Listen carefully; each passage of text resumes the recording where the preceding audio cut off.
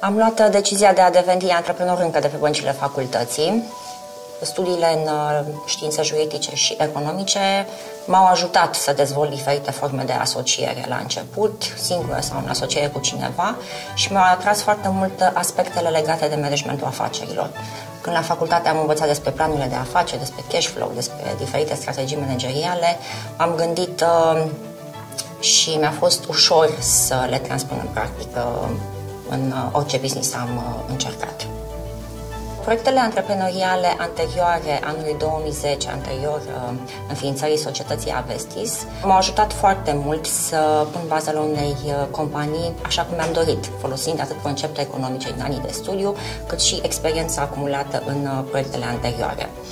Am avut șansa să am un capital suficient de mare, aproximativ 50.000 de euro pentru a începe acest business, Uh, business pe care mi l-am dorit încă de la început, structurat și mult mai elaborat față ceea ce dezvoltasem anterior. Um, sunt uh, de părere că pentru a ființa o societate comercială cât de mică este necesar de un capital minim, de câteva mii de euro, iar pentru o companie care să funcționeze cu câțiva salariați încă de la început, este nevoie de un capital mult mai mare. Un business se dezvoltă pas cu pas, iar fondatorul trebuie să asigure finanțarea activității curente cel puțin pentru primele 6-7 luni, așa cum am făcut eu. Deci, sigur, uh, decizia de a porni la drum singură pe calea antreprenoriatului uh, nu a, nu a luat în calcul un eșec. Uh, sunt o persoană ambițioasă și cred că ambiția, tenacitatea și aspectele ce țin de dorința de a reuși au înlesnit oarecum uh, succesul afacerii mele. Uh, am simțit că sunt pregătită pentru un uh, business încă din momentul facultății, deoarece am avut totdeauna un spirit competițional și antreprenorial de la începutul studiilor mele. Diferențele dintre antreprenori și angajați sunt multiple, pornind de la viziunea pe care o au față de întreaga organizație și de la conceptele pe care le au asupra unei societăți comerciale. Cum am spus și mai înainte, când am înființat societatea Avestis, uh, mi-am asumat un risc, însă am fost convinsă că voi reuși. Uh, potrivit unei legi de bază a economiei, profitul reprezintă recompensa asumării unui risc. Ceea ce diferențiază, în primul rând, un angajat de un antreprenor este curajul. Curajul de a se lansa într-un business și de a risca. Uh, față de un angajat care caută stabilitate, securitate, uh, antreprenorul caută, în primul rând, uh, provocarea, riscul la care este provocat în fiecare zi în businessul său. Uh, din punctul meu de vedere, un antreprenor trebuie să aibă pronunțate calități de lider, să știe cum să-și organizeze și să-și motiveze angajații și colaboratorii. Antreprenorul caută în permanență oportunități de dezvoltare, fiind preocupat de utilizarea cât mai eficientă a resurselor. Angajații însă sunt mai mult preocupați de respectarea regulilor, procedurilor, uh, în privința inițiativei fiind destul de timizi uh, uneori. Um, Calitățile consider eu necesare absolut pentru un, uh, absolut necesare pentru un, un antreprenor sunt uh, curajul, talentul organizatoric și uh, caracterul inovativ. Chiar dacă am analizat care sunt diferențele dintre un antreprenor și un angajat, trebuie totuși să avem în vedere faptul că succesul unei afaceri provine de cele mai multe ori chiar din munca în echipă. Nu doar antreprenorul este cel uh, preocupat de succesul afacerii, deoarece și angajații, din punctul meu de vedere, trebuie să își asume uh, succesul uh, societății și succesul uh, afacerii, astfel încât să devină oarecum afacerea lor uh, societatea și să fie, desigur, satisfăcuți pentru munca bine făcută. Societatea Avestis Internațional activează în domeniul recuperărilor bunurilor și creanțelor, rezultate mai ales din contractele de leasing. De la început am dorit să implementez un sistem nou de recuperare integrată a creanțelor, dar și de reposesia bunurilor mobile, cum ar fi bunurilor de leasing în principal, bunurile mobile și imobile ipotecate, bunurile asupra cărora sunt instituite măsuri asiguratorii. Inițial mi-am concentrat uh, mai mult atenția pe activitatea de reposesie a bunurilor de leasing și pe recuperarea creanțelor rezultate din acest tip de contract.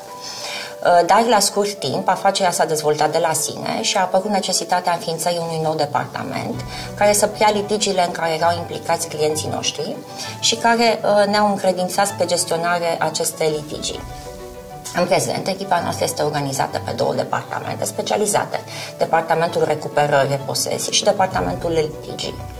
Departamentul Recuperării este format din consilieri juridici și avocați cu responsabilitate pe toate zonele din țară, iar Departamentul Litigii este format din uh, avocați specializați pe acest segment de activitate, care managerează în prezent uh, o cantitate suficientă de dosare în uh, întreaga țară pe proceduri contencioase și necontencioase, respectiv contestațiile executare, acțiuni în pretenții, uh, insolvență, plângeri penale, proceduri speciale și acțiuni pe drept comun, respectiv reziliere de contract, clauze abuzive, nulitate, contract, obligația de a face.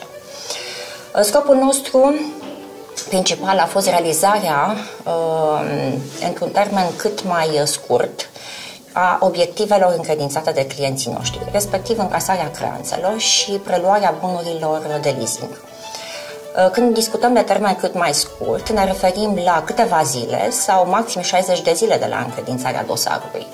Dosarele pe care nu reușim să le rezolvăm pe cale amiabile sunt supuse unei proceduri necontencioase sau contencioase, uh, ce conduc de cele mai multe ori la soluționarea favorabilă într-un timp rezonabil.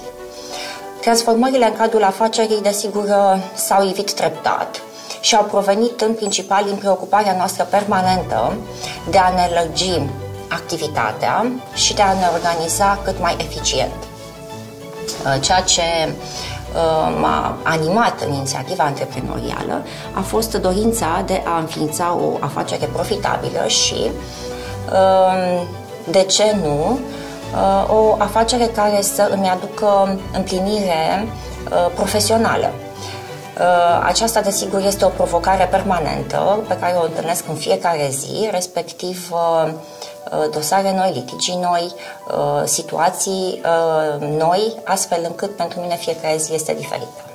Ori de câte ori primesc un feedback pozitiv de la un client, chiar dacă proiectul în sine nu implică un profit financiar, mă bucur foarte mult, deoarece, într-adevăr, munca mea de roade.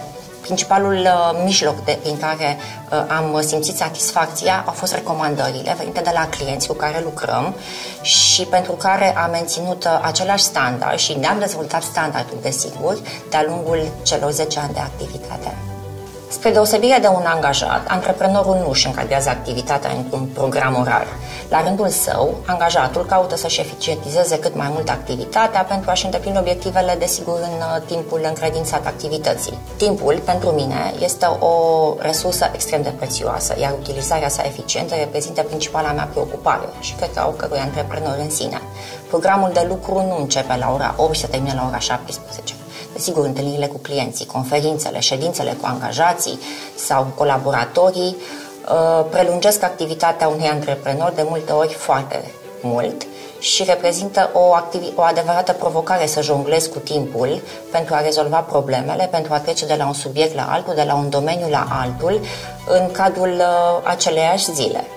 Dincolo de toate acestea, trebuie să ne gândim și la viața personală, care de multe ori Uh, este foarte importantă și încununează succesul afacerii, uh, fiind resimțit pe deplin uh, dacă aceste două aspecte ale vieții profesionale și personale se împletesc. Prima provocare a fost aceea de a-mi crea o echipă dedicată proiectelor companiei. Nu este și nu a fost deloc ușor, deoarece este extrem de greu să lucrezi cu oamenii, chiar și procesul de recrutare fiind în sine extrem de îndelungat. O altă provocare o reprezintă implementarea unui sistem, unor proceduri, atât cu clienții cât și cu angajații, în interiorul companiei. Uh, este nevoie permanentă de multă răbdare pentru a-ți face colaboratorii să înțeleagă cât de important este organizarea, cât de mult contează gestionarea eficientă a timpului, precum și faptul că rolul procedurilor este tocmai acela care te ajută să-ți organizezi activitatea și timpul în mod cât mai eficient. O altă provocare Uh, pentru mine este profitabilitatea afacerii și menținerea unor standarde ridicate. Uh, chiar dacă am înregistrat succes încă de la început, încă din prima lună de activitate, niciodată nu am scăpat din vedere valorificarea la maximă a resurselor pentru înregistrarea profitului.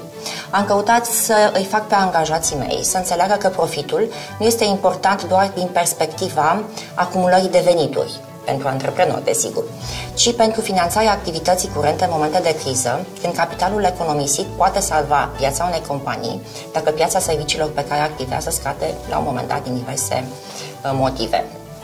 Toate aceste provocări uh, pot fi depășite din punctul meu de vedere cu multă tenacitate și muncă asiduă, desigur, din partea întregii echipe. Au existat și există în continuare momente critice, dar nu pot spune că nu le-am uh, depășit și nu am găsit soluții. Potrivit lui Albert Einstein, o problemă fără soluție este o problemă greșit formulată. Așadar, contează foarte mult să ne păstrăm calmul și să ne concentrăm asupra identificării cauzei și a problemei în sine, să o rezolvăm. Uh, sunt convinsă că soluțiile, dacă vă concentrați cu foarte multă atenție, vin atunci când nu te aștepți și de unde te aștepți mai puțin. Îmi doresc în primul rând un mediu de afaceri consecvent. Instabilitatea majoră în domeniul legislației fiscale face aproape imposibilă întocmirea unui plan de afaceri pe termen mediu și lung. Observăm cu îngrijorare că legislația fiscală se schimbă, chiar de mai multe ori într-un an, iar noi, antreprenorii, suntem nevoiți în permanență să modificăm bugetul provizionat, schema de investiții. De multe ori ne vedem nevoiți să ne limităm la menținerea unei afaceri, în loc să ne axăm pe dezvoltarea acesteia, deoarece nu putem conta, măcar pe perioade scurte de timp, pe menținerea unor parametri fiscali la care ne-am raportat la începutul anului. Astfel, suntem forțați să adoptăm o politică prudentă pentru menținerea solidității uh, afacerii în care ne-am angajat. Desigur, pe plan personal îmi doresc liniște, sănătate și să mă pot bucura de fiecare moment și de fiecare provocare a vieții. În antreprenoriat trebuie să-ți asumi riscuri, trebuie să fii inventiv, trebuie să muncești foarte mult și, în primul rând, să te dezvolți în permanență ca și om. Uh, nu trebuie să te limitezi la ceva, la ce ai început, la ce ai demarat, ci în permanență trebuie să fii deschis noului, trebuie să te gândești ce uh, cum te poți dezvolta, să urmezi cursul de perfecționare, să devii din ce în ce mai bun și să înveți în permanență. Uh, consider că atâta timp cât ai idei, cât ești muncitor, cât uh, te bazezi pe tine ca și profesionist, uh, vei reuși. Și nu în ultimul rând, încearcă să te uh, înconjori de oameni capabili, de oameni mult mai buni ca tine. Sau cel puțin pe ceea ce știi că tu nu performezi, încearcă să-ți aduci oameni exact pe, pe domeniul în care tu nu ești la fel de bun pe cum sunt alții. Succesul este cu siguranță garantat.